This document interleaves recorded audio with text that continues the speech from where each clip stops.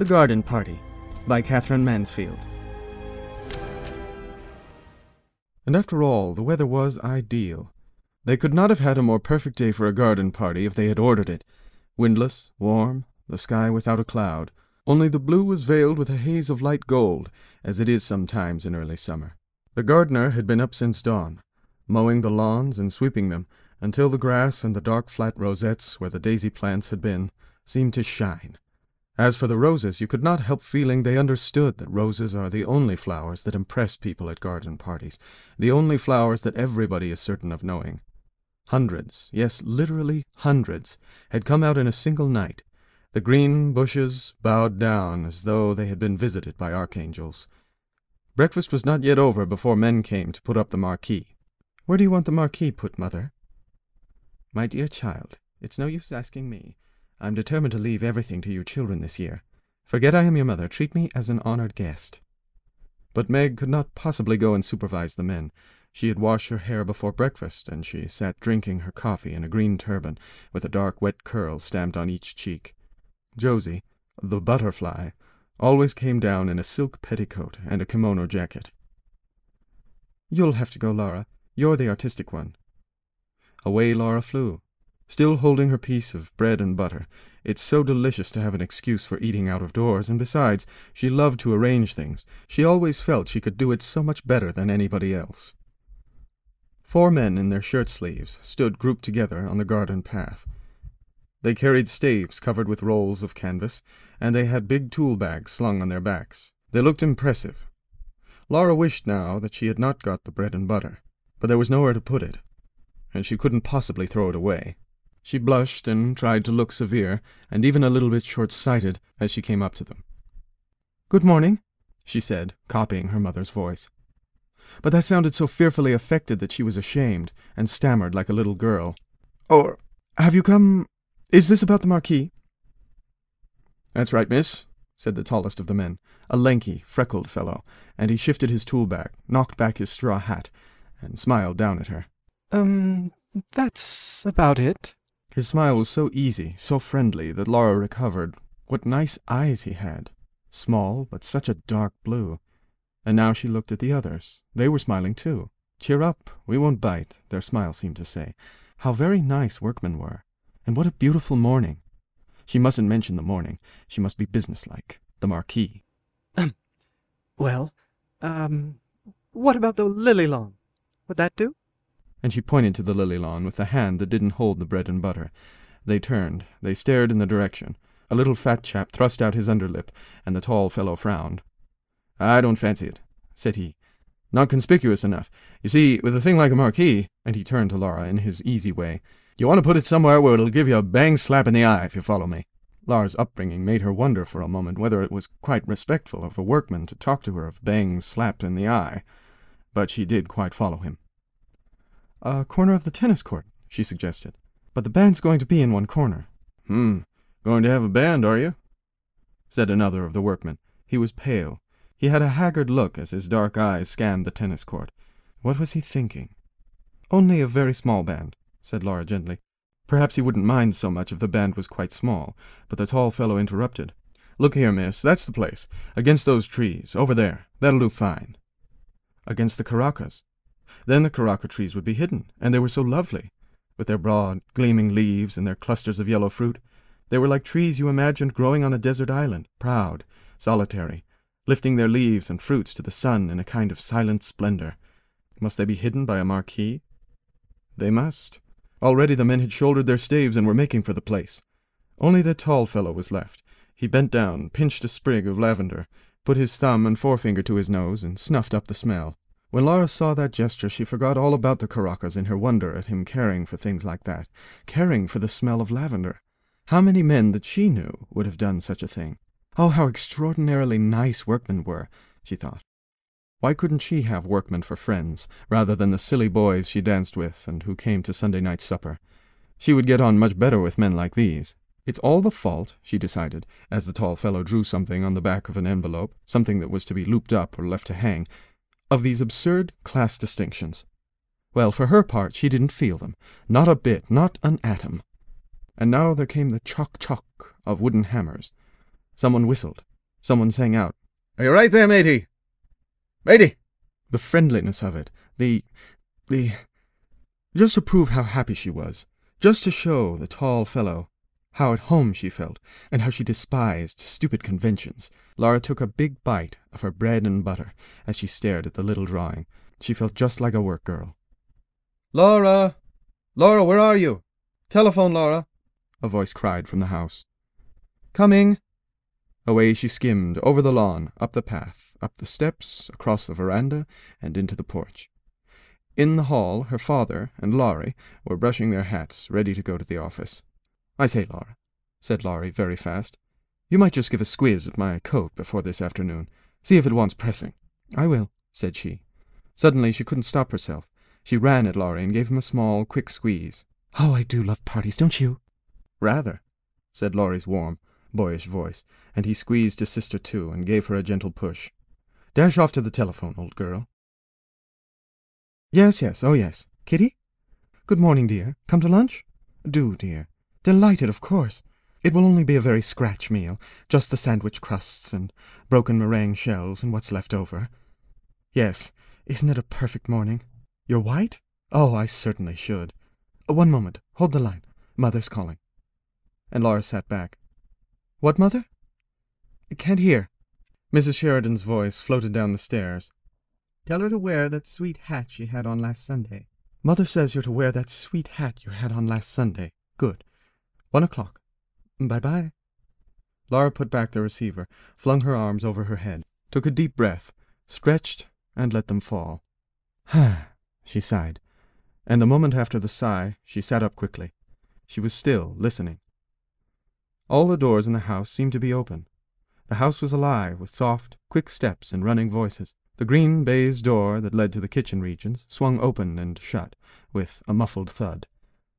And now there came a long, chuckling, absurd sound. It was the heavy piano being moved on its stiff casters. But the air, if you stopped to notice, was the air always like this? Little faint winds were playing chase, in at the tops of the windows, out at the doors. And there were two tiny spots of sun, one on the inkpot, one on a silver photograph frame, playing too. Darling little spots, especially the one on the inkpot lid. It was quite warm. A warm little silver star. She could have kissed it. The front doorbell pealed, and there sounded the rustle of Sadie's print skirt on the stairs. A man's voice murmured. Sadie answered, careless. I'm sure I don't know. Uh, wait, I'll ask Mrs. Sheridan. What is it, Sadie? Laura came into the hall. It's the florist, Miss Laura. It was indeed. There, just inside the door, stood a wide, shallow tray full of pots of pink lilies. No other kind. Nothing but lilies, canna lilies, big pink flowers, wide open, radiant, almost frighteningly alive on bright crimson stems. Oh, Sadie, said Laura, and the sound was like a little moan. She crouched down as if to warm herself at that blaze of lilies. She felt they were in her fingers, on her lips, growing in her breast. It's some mistake, she said faintly. Nobody ever ordered so many. Sadie, go and find Mother. But at that moment Mrs. Sheridan joined them. It's quite right, she said calmly. Yes, I ordered them. Aren't they lovely? She pressed Laura's arm. I was passing the shop yesterday, and I saw them in the window, and I suddenly thought for once in my life I shall have enough canna lilies. The garden party will be a good excuse. But I thought you said you didn't mean to interfere, said Laura. Sadie had gone. The florist's man was still outside in his van. She put her arm round her mother's neck, and gently, very gently, she bit her mother's ear. My darling child, you wouldn't like a logical mother, would you? Don't do that. Here's the man. He carried more lilies still, another whole tray.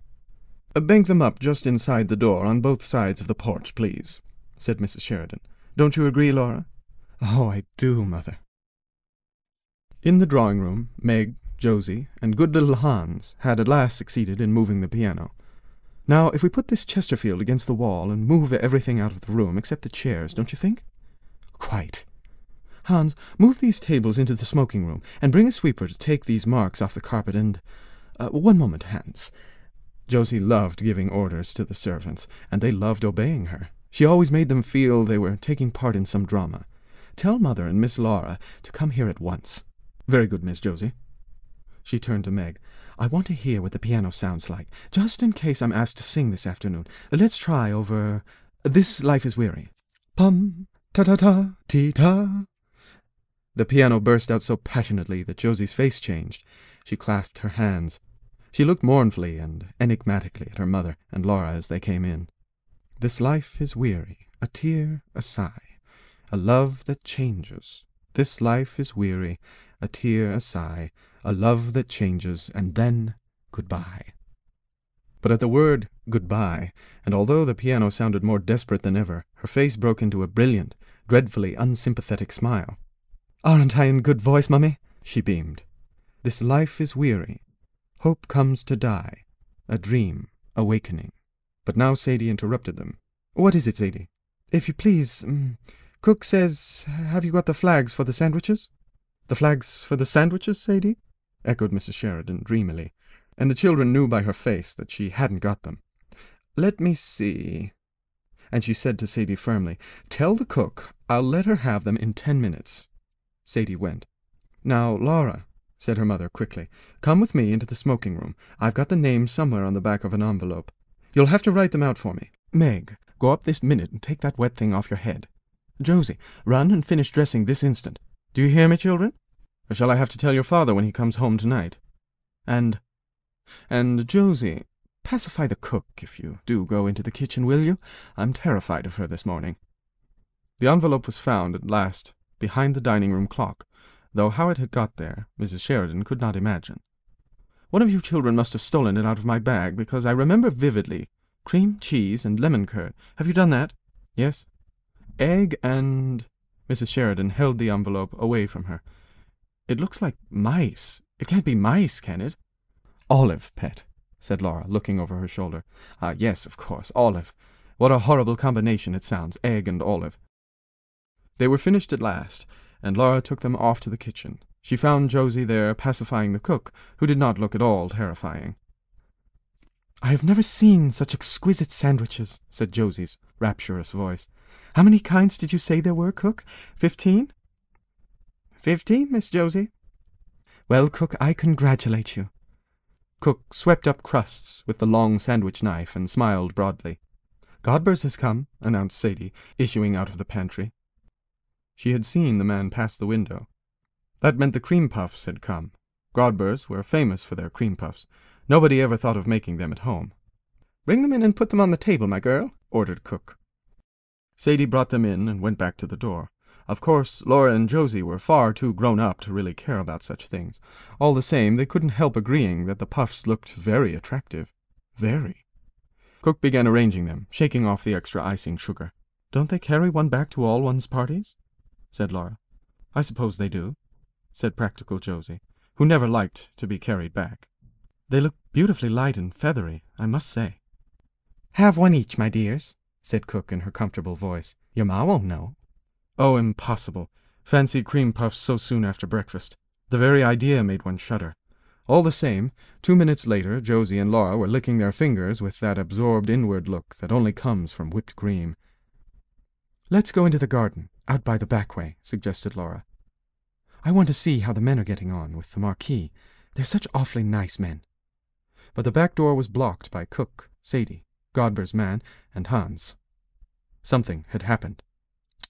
clucked Cook like an agitated hen.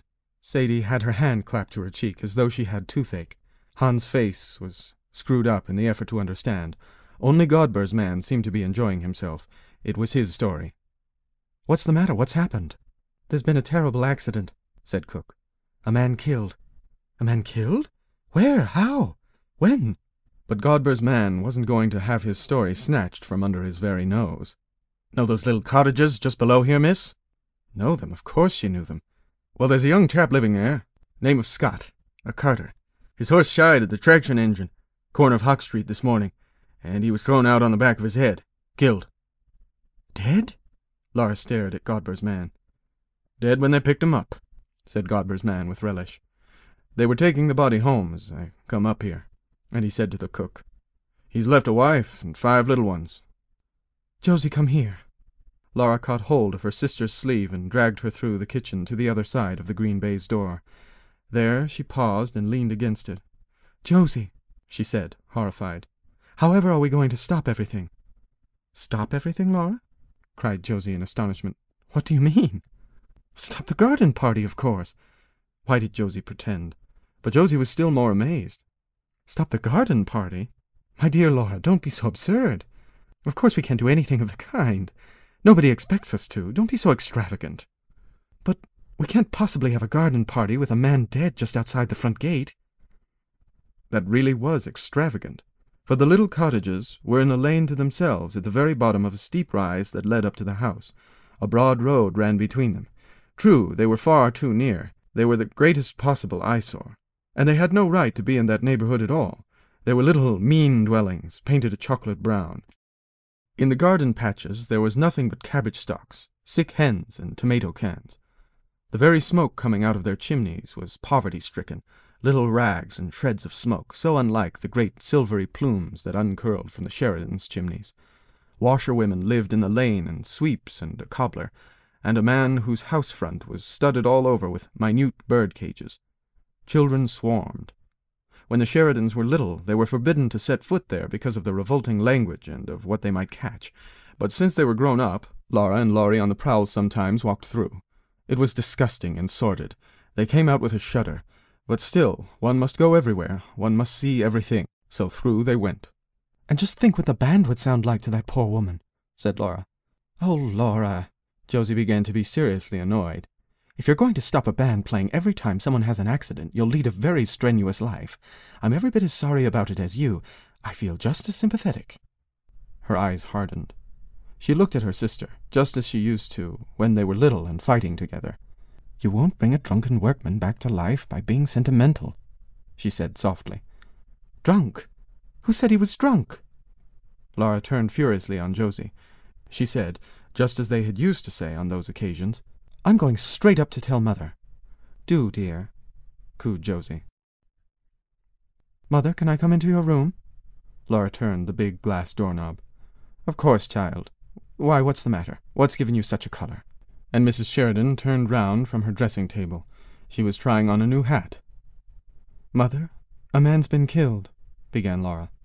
Not in the garden, interrupted her mother. No, no. Oh, what a fright you gave me.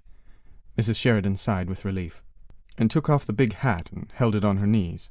But listen, mother, said Laura. Breathless, half choking, she told the dreadful story. Of course we can't have our party, can we? she pleaded. The band and everybody arriving, they'd hear us, Mother. They're nearly neighbors. To Laura's astonishment, her mother behaved just like Josie. It was harder to bear because she seemed amused. She refused to take Laura seriously. But, my dear child, use your common sense. It's only by accident we've heard of it. If someone had died there normally, and I can't understand how they keep alive in those poky little holes, we should still be having our party, shouldn't we? Laura had to say yes to that, but she felt it was all wrong. She sat down on her mother's sofa and pinched the cushion frail. Mother, isn't it really terribly heartless of us? she asked. Darling. Mrs. Sheridan got up and came over to her, carrying the hat. Before Laura could stop her, she had popped it on. My child, said her mother, the hat is yours. It's made for you. It's much too young for me. I have never seen you look such a picture. Look at yourself. And she held up her hand mirror. But, mother, Laura began again. She couldn't look at herself.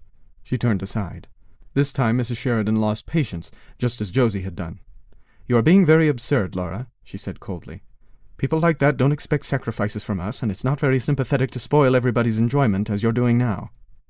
I don't understand, said Laura, and she walked quickly out of the room into her own bedroom. There, quite by chance, the first thing she saw was this charming girl in the mirror, in her black hat trimmed with gold daisies and a long black velvet ribbon. Never had she imagined she could look like that. Is mother right? she thought. And now she hoped her mother was right. Am I being extravagant? Perhaps it was extravagant. Just for a moment she had another glimpse of that poor woman and those little children, and the body being carried into the house. But it all seemed blurred, unreal, like a picture in the newspaper. I'll remember it again after the party's over, she decided. And somehow that seemed quite the best plan. Lunch was over by half past one. By half past two they were all ready for the fray. The green-coated band had arrived and was established in a corner of the tennis court. My dear, trilled Kitty Maitland. Aren't they too like frogs for words? You ought to have arranged them round the pond, with the conductor in the middle on a leaf.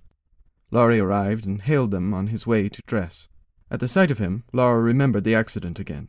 She wanted to tell him. If Laurie agreed with the others, then it was bound to be all right, and she followed him into the hall. Laurie? Hello! He was halfway upstairs, but when he turned round and saw Laura, he suddenly puffed out his cheeks and goggled his eyes at her. My word, Laura, you do look stunning, said Laurie. What an absolutely topping hat! Laura said faintly, Is it? and smiled up at Laurie, and didn't tell him after all. Soon after that, people began coming in streams. The band struck up. The hired waiters ran from the house to the marquee.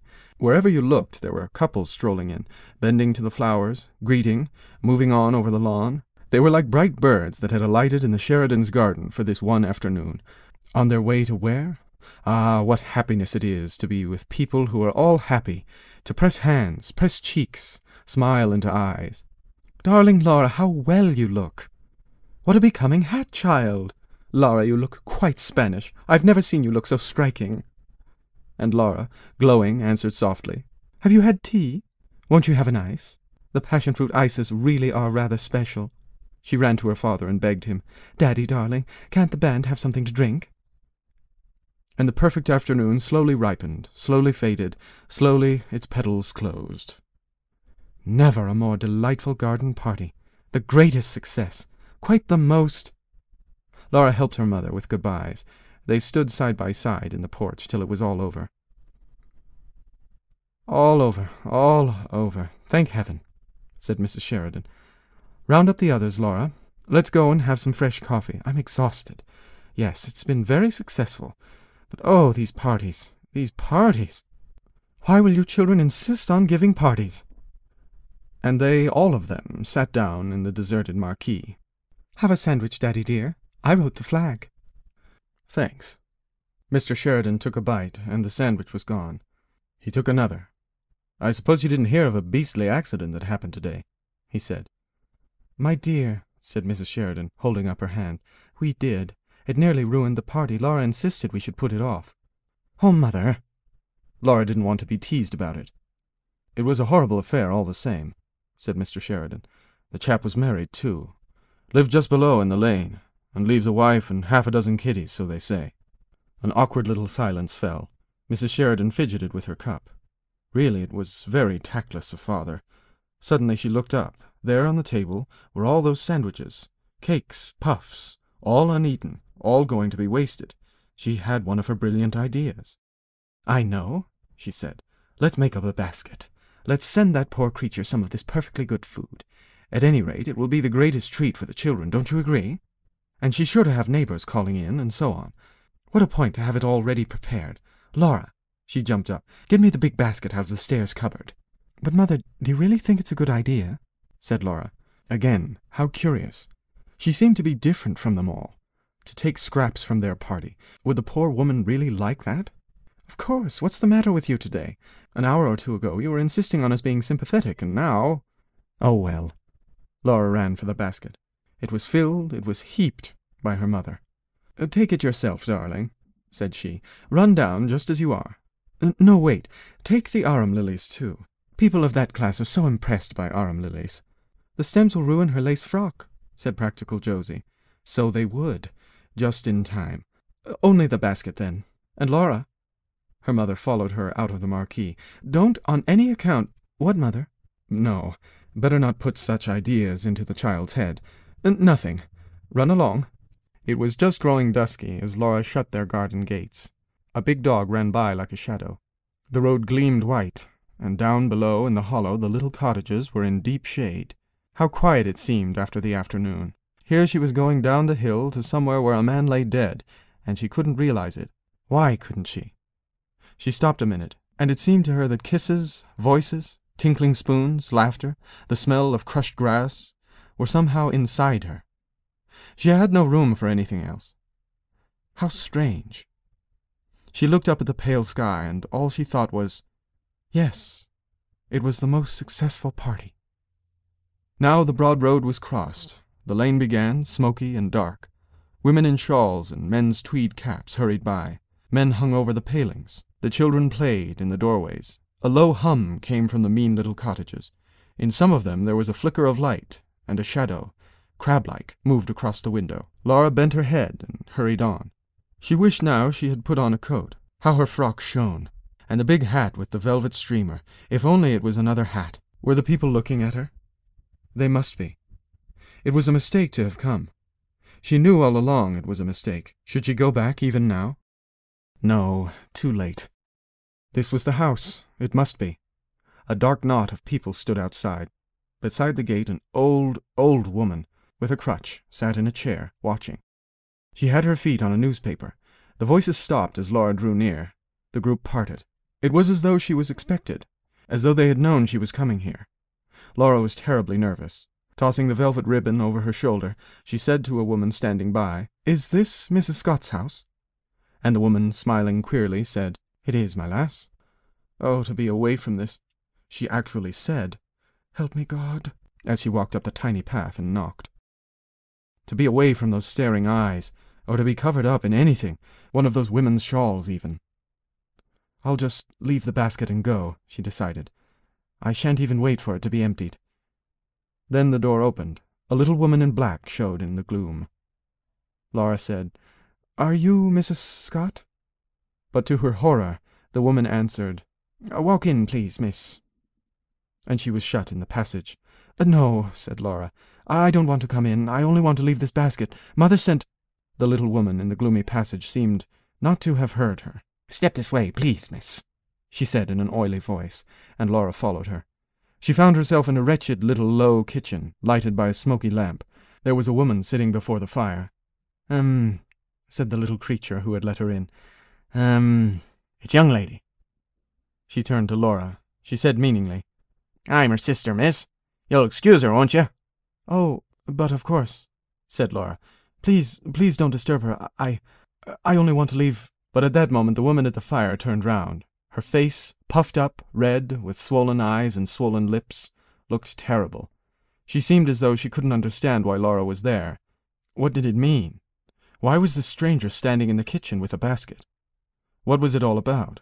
And the poor face puckered up again. All right, my dear, said the other. I'll thank the young lady. And again she began, You'll excuse her, miss, I'm sure. And her face, swollen too, tried an oily smile. Laura only wanted to get out, to get away, she was back in the passage. The door opened. She walked straight through into the bedroom, where the dead man was lying. You'd like a look at him, wouldn't you? said Em's sister, and she brushed past Laura over to the bed. Don't be afraid, my lass. And now her voice sounded fond and sly, and fondly she drew down the sheet. He looks a picture. There's nothing to show. Come along, my dear. Laura came. There lay a young man, fast asleep, sleeping so soundly, so deeply, that he was far, far away from them both. Oh, so remote, so peaceful. He was dreaming. Never wake him up again. His head was sunk in the pillow. His eyes were closed. They were blind under the closed eyelids. He was given up to his dream. What did garden parties and baskets and lace frocks matter to him? He was far from all those things. He was wonderful, beautiful. While they were laughing, and while the band was playing, this marvel had come to the lane. Happy. Happy. All is well, said that sleeping face. This is just as it should be. I'm content. But all the same, you had to cry, and she couldn't go out of the room without saying something to him. Laura gave a loud, childish sob. Forgive my hat, she said. And this time she didn't wait for Em's sister. She found her way out of the door, down the path, past all those dark people, at the corner of the lane she met Laurie. He stepped out of the shadow. Is that you, Laura? Yes. Mother was getting anxious. Was it all right? Yes, quite. Oh, Laurie. She took his arm. She pressed up against him. I say, you're not crying, are you? asked her brother. Laura shook her head. She was. Laurie put his arm round her shoulder. Don't cry, he said in his warm, loving voice. Was it awful? No, sobbed Laura. It was simply marvelous. But, Laurie... She stopped. She looked at her brother. Isn't life... She stammered. Isn't life... But what life was, she couldn't explain. No matter. He quite understood. Isn't it, darling? said Laurie.